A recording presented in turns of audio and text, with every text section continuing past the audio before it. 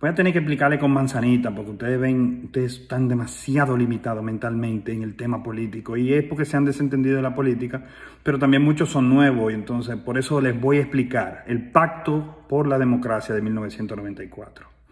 Balaguer y Peña Gómez tenían 43 y 41%, no sé cuál tenía cuál automáticamente no superaban un 50%. Entonces ellos decidieron el pacto por la democracia, que Balaguer, que se le iba a dar dos años a Balaguer y que Balaguer en el 96, por primera vez desde el 60 y pico, 66, no iba a llegar al poder. Es decir, no iba a acceder de ninguna forma, ni participando, no podía cruzar cerca de las elecciones. Ahí es que gana Leonel Fernández. Pero independientemente de todo, eso fue un momento democrático donde se rompe una tiranía, que si bien es cierto Balaguer tuvo sus bondades, se rompe una tiranía de una sola persona que era la que ejercía el, centro de la política dominicana y que más tenía poder estando o no estando en el poder, es decir, estando o no sentado en la silla. Él tenía el poder y todo se, se decidía sobre él y él hasta que murió tuvo mucho poder. Entonces, ¿qué ocurre? Nosotros estamos buscando que pase algo parecido. ¿Por qué? Siempre que ganan con el 50 más 1, automáticamente entienden que más del 50% de la población apoya su gestión. Por lo tanto, no vivimos en Estados Unidos, que en Estados Unidos si, si tu índice de approval baja, eh, tu, índice de aprobación baja por un 40, un 30, un 20, tú, ya tú no tienes control del país. Y se vive midiendo eso, se vive midiendo muchas cosas, los cuales se toman en cuenta para mil y una cosa. En República Dominicana no, tú ganaste, tú ganaste, gané con la mayoría, yo soy el que tiene más gente y se acabó. Nosotros vivimos en una especie de campo tercermundista que ahora se llama país en vía de desarrollo para hablarnos bonito, para seguir sacándonos los cuartos y usándonos como esclavos en el mundo. Eso va a pasar siempre. Eso es República Dominicana, un Haití más sofisticado, el cual podría ser muchísimo mejor con todos los recursos naturales, que no hemos derrochado igual que Haití. Sin embargo, estos gobiernos pasados lo han destruido gravemente, incluyendo personas de la misma oposición que se quieren vender como santos. Nosotros estamos abogando para que haya un cambio real. Ese cambio real no puede ser en el 20 porque no tuviste tiempo, no te decidiste, no tuviste el valor. Cuando yo empecé a sacar las cosas en el 2016 no había una noticia negativa. Yo me fui de dos periódicos. Uno no me soportaba. Tengo grabaciones de uno diciendo cosas sobre mí porque yo estaba en contra del gobierno, porque estaban picando del gobierno. Y esa grabación están ahí. Y aparte de eso, otro diario me acusó a mí de muchísimas cosas porque simple y llanamente yo no iba con la línea, yo quería me someter de Brecht y cuando yo me fui a increpar a Nuria, eso y que aquello automáticamente me sacaron. Porque Nuria trabajaba para Manuel Estrella, que era el socio de, de Odebrecht, o sea, el socio real, efectivo porque tenía que tener un socio en República Dominicana, el que se hizo del dinero. Entonces ya esto se habló en el pasado, si usted quiere ver los videos sobre eso, lo puede buscar.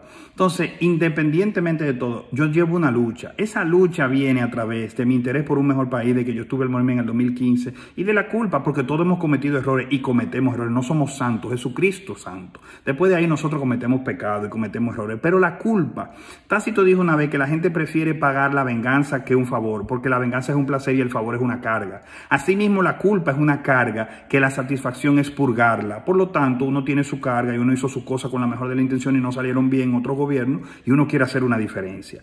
Entonces, es difícil explicarle la política porque a ustedes lo han hecho ignorante. A los que le han dado estudio de clase media, lo han hecho ignorante en el tema político y a los que lo han hecho y a los que son pobres, lo han hecho ignorante en generalidad. Entonces, ese es Ningún Estado quiere personas inteligentes para, para que... Usted sabe lo difícil que es convencer a alguien inteligente para que tome una decisión. No es lo mismo. Lo que está a la vista no necesita pejuelo, pero a las personas en ignorancia, usted tiene la mente del tamaño que tenga su evolución mental. Por eso los libros abren la mente, por eso viajar abre la mente, por eso estudiar abre la mente, por eso hay muchas vías para tú desarrollarte. Juan Bosch no se graduó, sin embargo, era una persona súper culta. Se iba en los libros y logró tener mucha sapiencia. Quizá le faltó un poco entender la conducta humana, porque yo mismo no puedo pretender que no va a haber corrupto en mi gobierno si algún día yo llego o cerca de mí, y tendré, pero yo sí tengo la responsabilidad de tomar medidas sobre eso, eso sí yo puedo prometer, pero yo no puedo prometer que todo el mundo va, a creer lo mismo que yo, porque hasta mis propios amigos que me quieren, si dos hermanos en una familia no son iguales, criados igual,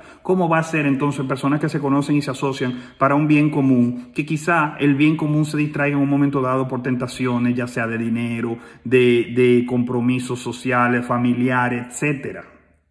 Entonces, vamos a poner un poquito la cabeza, por lo cual yo les digo, tenemos que dividir el voto y tenemos que esperar a ver cómo está al final de eso, pero no puede ganar Luis en primera vuelta. Y Gonzalo no está cerca de ganar en primera vuelta. Y Leonel no está cerca de ganar en primera vuelta, pero hay que darle más voto al que menos tenga, no importa que sea Leonel o sea Gonzalo en su momento, y eso es lo que toca, lo que toque, lo que sea necesario como un bisturí hacer esa cirugía.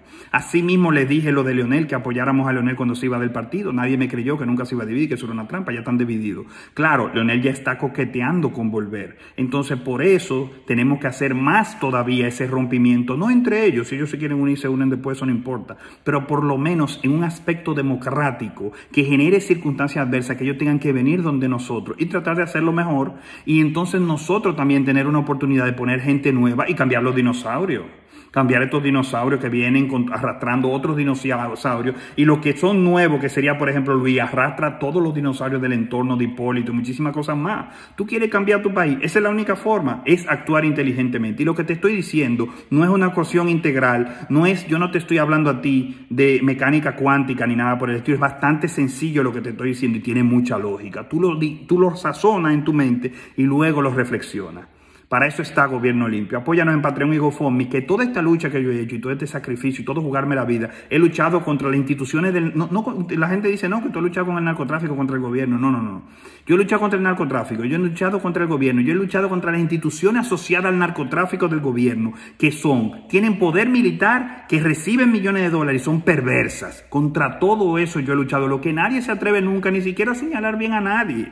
Entonces yo he tenido mi responsabilidad social, yo espero que tú la tengas nosotros, apoyándonos en Patreon y GoFundMe, o por lo menos esforzándote para hacer y sumar en lo que viene siendo nuestro proyecto para traer nuevas ideas y sobre todo para poder llegar a un Estado más democrático que la basura dictatorial que nos tienen con el bipartidismo y con el mismo grupo de ladrones. Gobierno limpio.